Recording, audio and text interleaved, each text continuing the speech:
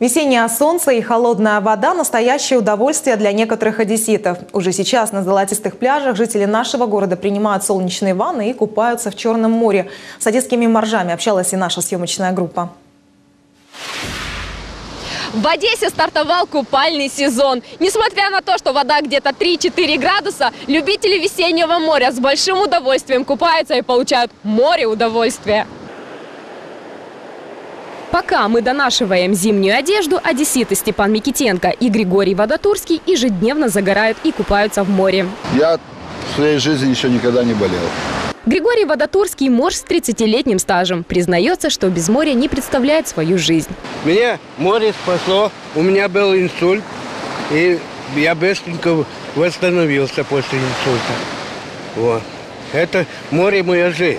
Степан Микитенко считает, что холодная морская вода – залог крепкого здоровья. В воде холодной купаться обязательно надо. Это стабилизирует в первую очередь давление. Не надо никаких таблеток от давления. Вода холодная а, а, Восстанавливает. восстанавливает давление такое, какое должно быть человеку для организма. Поэтому это очень здорово. Это сила, это здоровье, это бодрость. Григорий Иванович всю жизнь работал водителем троллейбуса. Степан Андреевич – бывший моряк. Сейчас оба одессита на пенсии. Моржи признаются, что в море купаются круглый год. Здесь, на пляже Отрада, построили так называемую хибару, которая летом защищает от палящего солнца, зимой от снега, а весной и осенью от дождя. Сергей Иванович говорил, здесь у нас летняя дача, здесь осенняя, а здесь вот зимняя.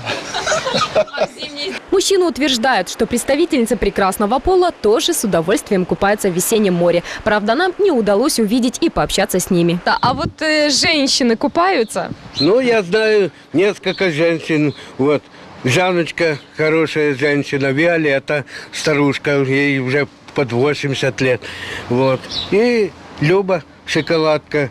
Вот. Она вся шоколаде такая кра- красивая женщина, ха- хорошая. Одесситы говорят, что моржевание принесет больше пользы, если придерживаться простых правил. Во-первых, ни в коем случае не принимать алкоголь. Во-вторых, не наедаться. Можно есть фрукты, овощи, немного мяса. И обязательно пить чистую воду. Но надо не чай пить брать на море, не кофе, а вот талую воду. Очень полезно.